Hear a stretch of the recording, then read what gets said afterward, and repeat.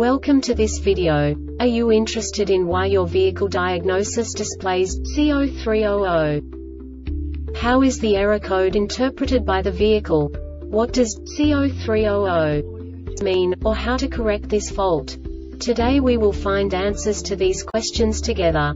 Let's do this. First, let's look at the history of diagnostic fault code composition according to the OBD2 protocol, which is unified for all automakers since 2000. We divide the electric system of automobile into the four basic units. Powertrain, body, chassis, network. This distribution is defined in the first character code. If the second character is expressed as zero, it is a standardized error. In the case of numbers 1, 2, 3 it is a more prestigious expression of the car-specific error. The third character specifies a subset of errors.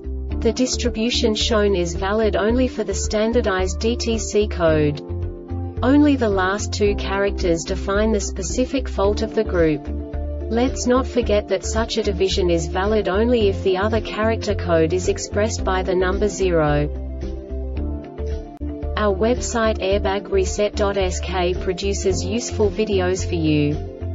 You do not have to go through the OBD2 protocol anymore to know how to troubleshoot any car breakdown. You will find all the diagnostic codes that can be diagnosed in a Saab vehicles. Also many other useful things. The following demonstration will help you look into the world of software for car control units. You unbelievably can move the video a bit further.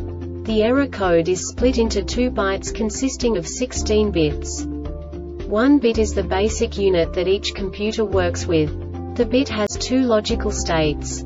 0, low level, 1, high level. By combining the first two bits, the basic character of the error code is expressed. The next two bits again determine the second character. The last beat styles of the first byte define the third character of the code. The second byte is composed of a combination of 8 bits. The first 4 bits determine the fourth character of the code. And the combination of the last 4 bits defines the fifth character.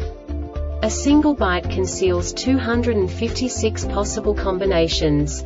We now know in what way the diagnostic tool translates the received information into a more comprehensible format. The number itself does not make sense to us if we cannot assign information about it to what it actually expresses. So, what does the diagnostic trouble code C0300 interpret specifically Saab car manufacturers? The basic definition is generator temperature sensor circuit low.